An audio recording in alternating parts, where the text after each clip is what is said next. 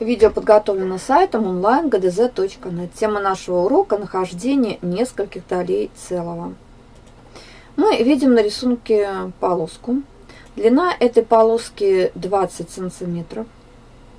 Если мы сложим эту полоску пополам, а потом еще раз пополам, то у нас получится, что мы эту полоску разделили на 4 равные доли.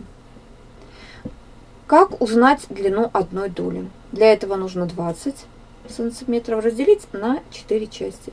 Получается 5 сантиметров. Значит, длина одной доли равна 5 сантиметрам. А как узнать длину двух долей? Если длина, длина одной доли 5 сантиметров, длина второй доли 5 сантиметров, то мы должны по 5 взять два раза. У нас получится 10 сантиметров длина двух долей. Чтобы узнать длину трех долей, каждая из которых равна по 5 сантиметров, мы должны по 5 взять 3 раза. То есть 5 умножить на 3 получится 15 сантиметров длина трех таких долей. Итак, сегодня на уроке мы научимся решать задачи на нахождение нескольких долей целого. Давайте посмотрим на данный рисунок. Длина отрезка 10 сантиметров.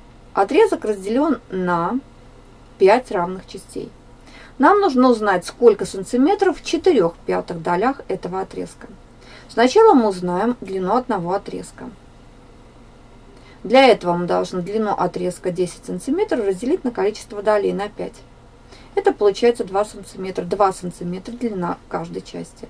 Нам нужно узнать, сколько в 4, составляет, сантиметров составляют 4 пятых долей этого отрезка. То есть мы должны вот таких частей по 2 взять 4 раза. 2 умножаем на 4, получается 8 сантиметров.